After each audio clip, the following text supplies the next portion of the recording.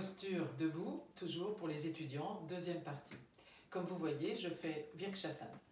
C'est au programme, il faut le travailler. Vous commencez par le pied droit dans l'aine gauche et ensuite vous poursuivrez pied gauche dans l'aine droite. Au retour, comme à l'aller.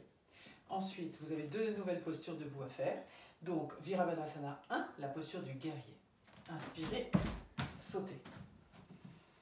Montez les bras, Tournez le pied arrière vers l'intérieur. Ouvrez le pied avant parallèle au tapis. Inspirez profondément et rentrez le coccyx. Expirez, pliez le genou avant. Gardez bien les hanches stables, au même niveau. La hanche avant recule et la hanche arrière essaye d'avancer pour stabiliser la hauteur des deux hanches. Puis regardez vers le ciel. Tendez bien la jambe arrière. Puis inspirez, revenez faire de l'autre côté. Pour les besoins de la vidéo, je vous épargne cela, mais sachez que vous devez le faire. Maintenant, nous allons faire Virabhadrasana 2, la posture du guerrier numéro 2.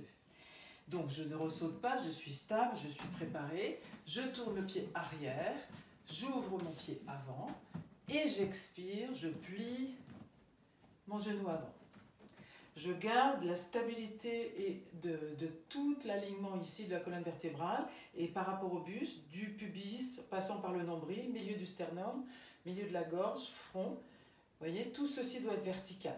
Ensuite, vous tournez la tête vers la main avant, le genou bien au-dessus de la cheville et gardez bien vos bras étirés. Respirez calmement, mettez de la détente dans l'abdomen. L'autre côté, expirez ensuite, sautez Tadasana. La suite au prochain rendez-vous.